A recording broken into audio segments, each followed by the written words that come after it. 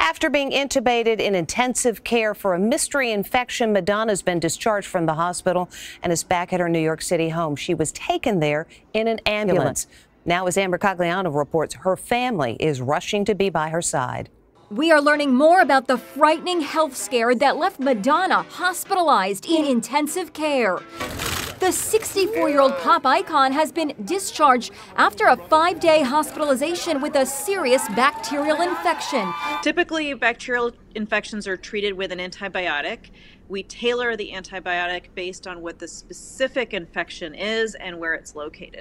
Doctors are weighing in on what could have led to the medical crisis. The most common causes would be respiratory or urinary. Bacterial infections can become dangerous quickly, and if not treated, they can lead to increased risk of complications. Other doctors speculate it could have been pneumonia or a life threatening case of sepsis. Madonna lives in a secluded mansion behind this brick wall on the Upper East Side of New York. One report says she battled a low grade fever for a month but ignored it.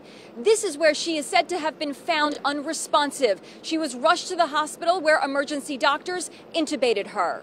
Her adopted son, David Banda, was seen arriving at the residence and her son, Rocco Ritchie. Her daughter, Lourdes, flew from Paris to be at her mother's side while she was hospitalized. The singer has been posting videos of her grueling rehearsals for her Celebration World Tour, marking 40 years in the spotlight.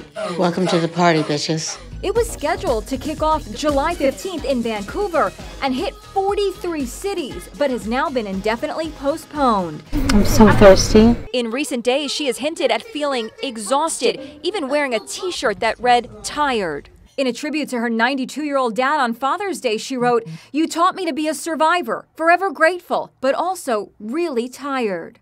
Exhausted. Her manager says a full recovery is expected. Madonna's manager also says those postponed concerts will be rescheduled.